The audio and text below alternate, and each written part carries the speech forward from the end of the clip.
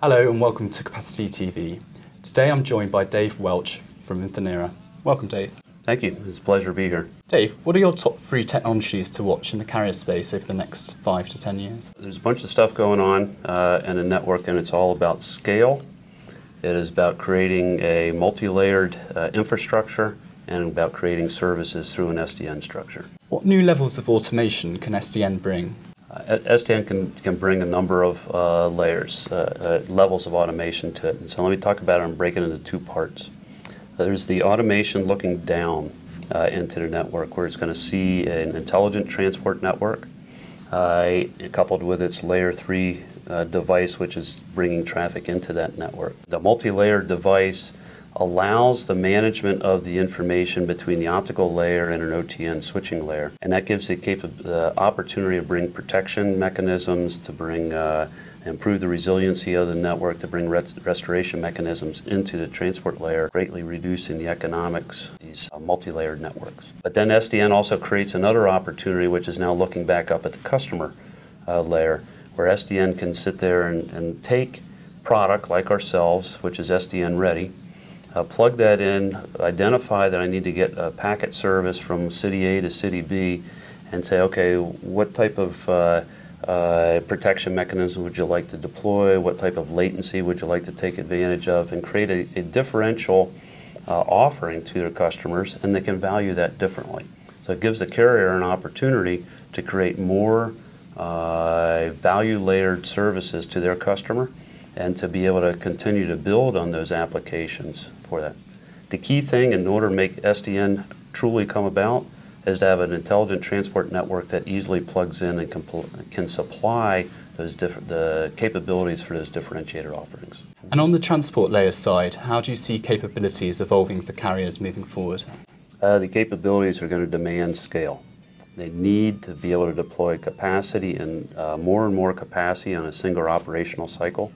Infinera has been all about creating uh, high capacity photonic integrated circuits and developing networks built in and around that. Uh, and it's the combination of high capacity uh, DWDM with an integrated digital switching, or in the long haul, that's OTN based uh, switching structure, to be able to deploy high capacity uh, and quick operational cycles. So it's very much about the integrated approach. Absolutely. To, to be able to get the economics, you need to continue to integrate the optics at the same pace as Moore's law in electronics, uh, which means you're going to be moving to terabit uh, uh optical uh, units of bandwidth uh, in the very near future. And how are carriers building more redundancy into their networks? Well, it's a, it's a migration that's going on today, which is to be able to develop this intelligent transport network. And what I mean by that is no longer is transport just large point-to-point -point pipes.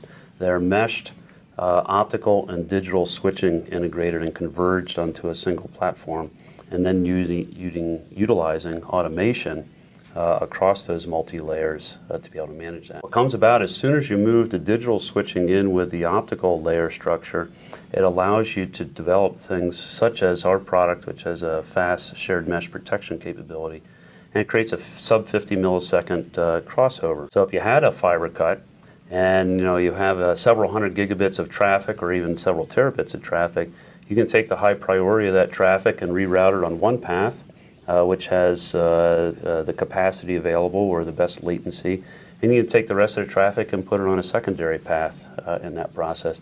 And that creates a huge economic savings uh, for the network by pulling that function, which had historically been in the layer 3 function of the network, now into an intelligent transport network. You end up with scale as a big driver.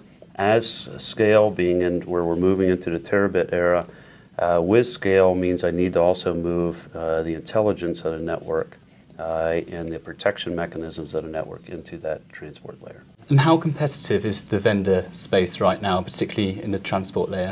Well, it's always been a competitive market, but I will say it's, it has thinned down quite a lot. Over the decades, we've had a number of companies uh, either uh, disappear or be consolidated. Uh, and the optical transport layer in the long haul has thinned down to a, a handful of uh, capable uh, multi-layered transport uh, companies. in the metro space and the metro, high-capacity metro core, you'll see the same players participating. So it's competitive. no one can sit on their laurels for, for very long, and you need to be very innovative to be a a leader in that industry, but it has changed quite a bit over the past decade. Thank you, Dave, for joining us today on Capacity TV. Alex, it was a pleasure being here with you. Thank you.